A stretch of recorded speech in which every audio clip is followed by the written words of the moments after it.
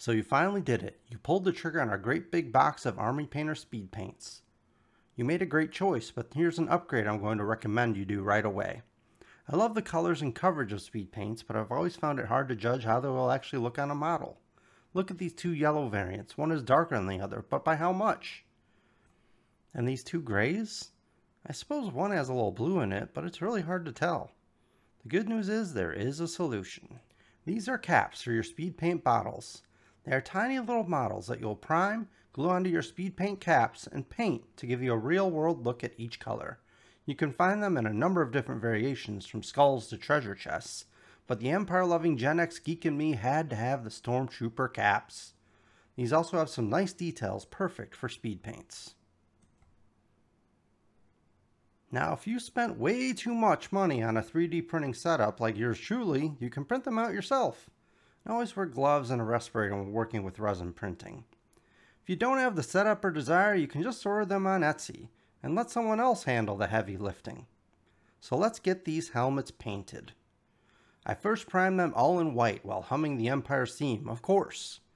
I like to work on them in batches, so I'll bust out the super glue and get each helmet in place. I highly recommend gloves again for this part. Trust me, you don't want to spend the time it takes to get super glue off your skin. I hold each one in place for about 10 seconds or so. Once the caps are in place, I paint, paint, and paint some more. You can be fast with this. It is speed paint after all, and you're also not trying to win any contests. Just get it on there and let it do what speed paint does. Run into the cracks and crevices and cover areas quickly. You can see already how nice these bottles look with their freshly painted caps.